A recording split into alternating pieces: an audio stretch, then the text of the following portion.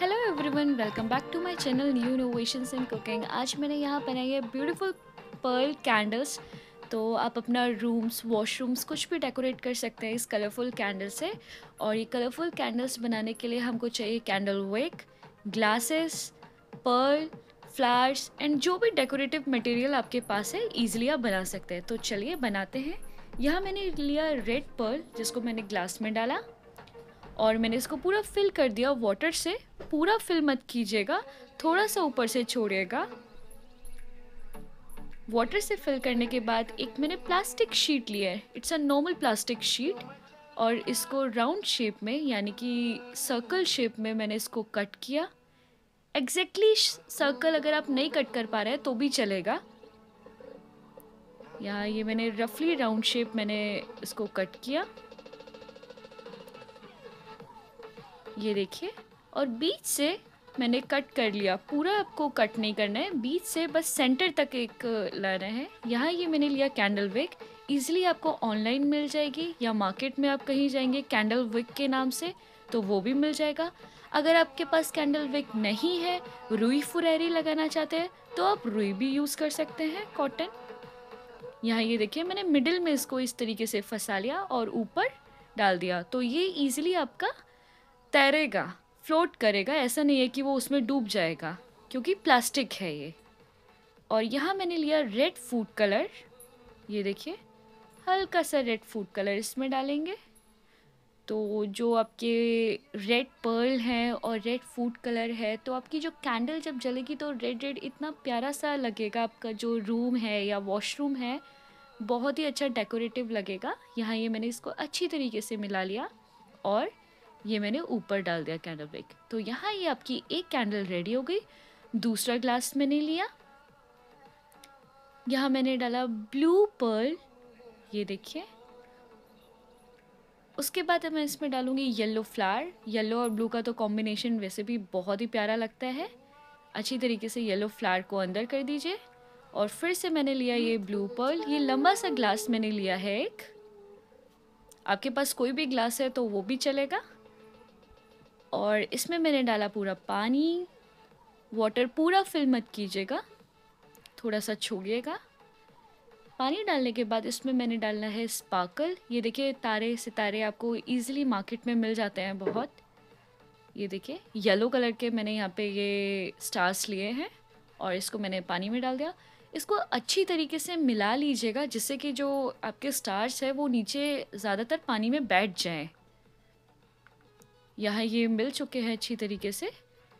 Again मैंने एक plastic sheet ली, उसको राउंड शेप काटा। ज़रूरी नहीं है आपका पूरा ही सर्कल आए, थोड़ा सा रफली भी आप इसको काट सकते हैं। ये देखिए, ये राउंड शेप मैंने काटा, इसको बीच से मैंने कट किया, एक कट दिया, पूरा कट मत दीजिएगा आर पार। ये ऐसे बीच से कट दिया मैंने, और यहाँ मैंने ये कैंडल विक ली। कैंडल विक को हमने थोड़ा सा काटा।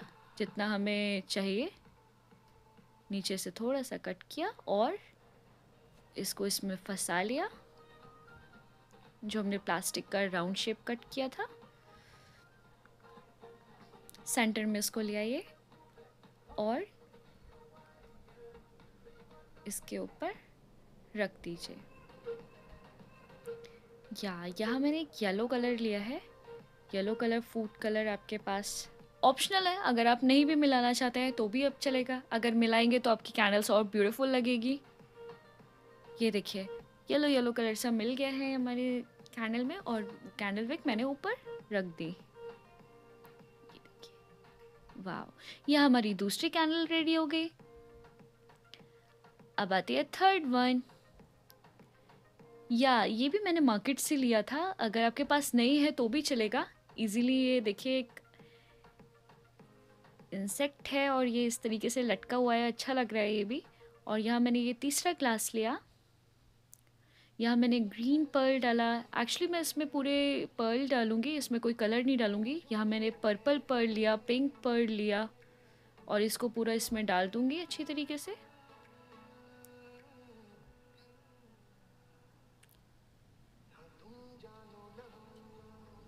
पानी डालिए।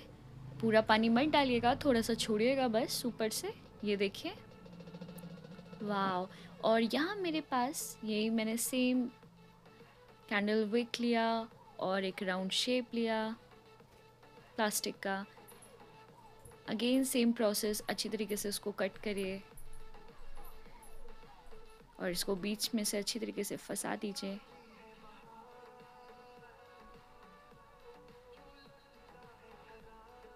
यहाँ मेरे पास स्पार्कल है, पिंक कलर का स्पार्कल है।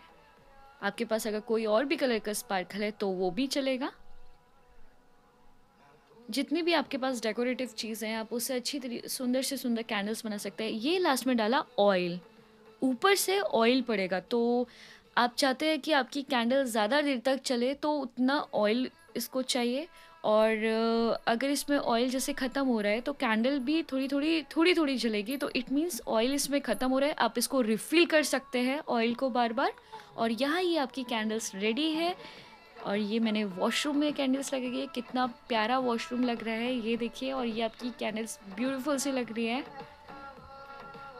आई होप ये वीडियो आपको पसंद आई हो। Thank you so much. Please इसको शेयर एंड सब्सक्राइब ज़रूर करिएगा।